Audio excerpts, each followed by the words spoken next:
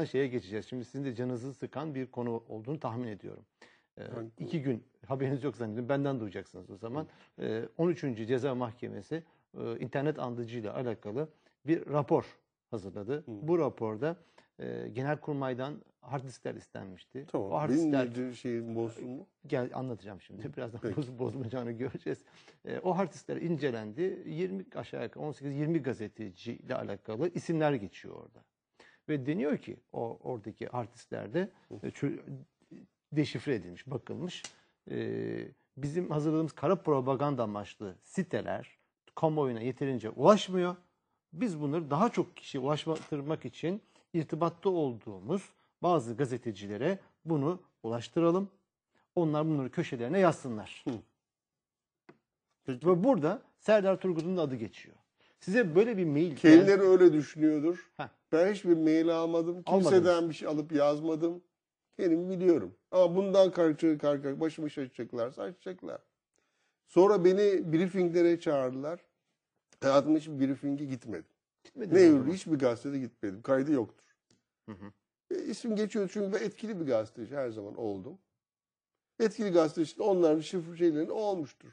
Bundan çıkarak şimdi insan başını mı yakacaklar yani? Ben ne, ne düşüneyim bundan? Peki bununla alakalı herhangi bir e, şey yapmayacak mısınız? Yani Hayır. sizin adınız geçiyor. Aa, geçiyordur ilgili- ama yani onların hayallerinde olan bir adımdır. Ben bir şey yapmadım. Tabii Bilmiyorum. onlar öyle yazmış olması sizi bağlamaz. Ne Ama yazdıklarım size hayat size bir öyle bir mail gelmedi. Öyle bir sizin irtibata Erkan Bey geçmediler. bunun kontrolü çok kolay. Hı hı. Yıllar boyunca yazdığı yazdıklarım arşivlerde.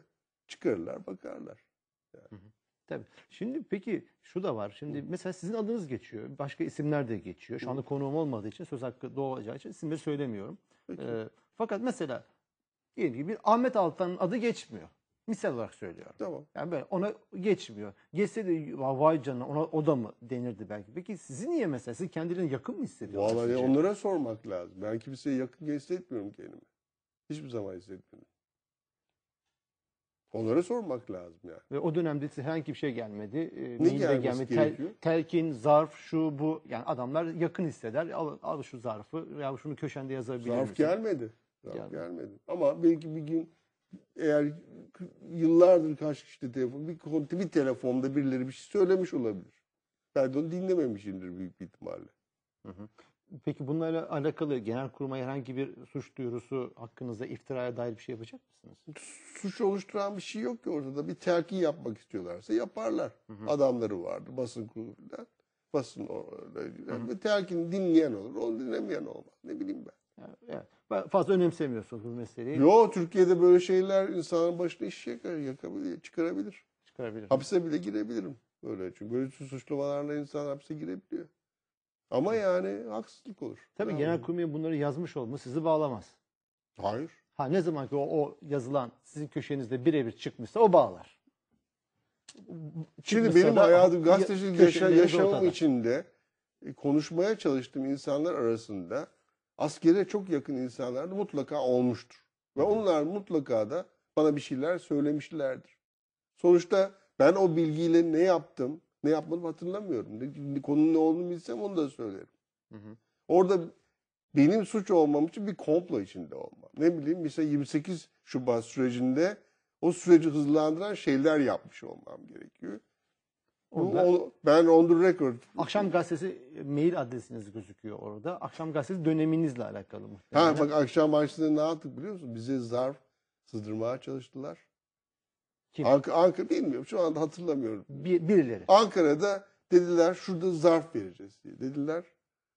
Hatta e, Bunu meçhul bir ses mi dedi? Kim? Oradaki ark bana demiyorlar. Ben genel yayın, ben yayın yönetmeniyim. Orada arkadaşlara söylediler. Zarf hakikaten orada verdiler. O zarftaki bilgiyi kullanmadığımız gibi o bilgiyi deşifre ettik.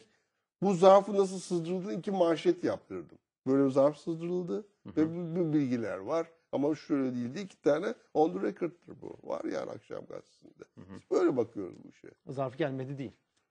Gelmeye çalıştı. Gelmeye çalıştı. Ama nereden geldiğini biliyordunuz.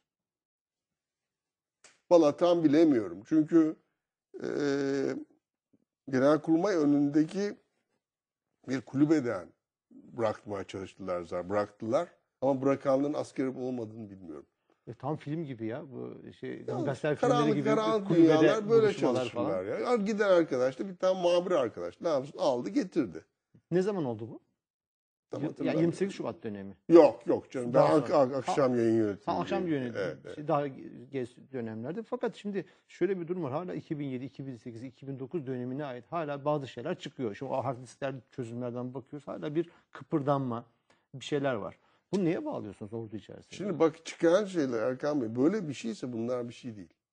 Çıkan bir şey için ciddi yani ciddi şeyler söylenmesi lazım. ne gibi? Yani, daha ne Yani Genelkurmay e, etkili olabilecek gazeteciler listesi çıkardıysa ve bunlara bilgi sızdıralım ve bir sonuç alalım dediyse öyle bir disk varsa ne sızdırıldığı, ne yapıldığının dökülmesi ve bir suç oluşturulması lazım. Böyle. O işte o- hazırlanmış ol- olan internet sitelerinde kara propaganda amaçlı internet sitedeki bilgilerin daha çok kişiye ulaştırılması boyutu. Hangi siteler onlar nedir? İrtica.org mu, com mu ne bileyim ne. Hatta o Onlara siteyi- bakmadım bile. Ben bilmiyorum, görmedim.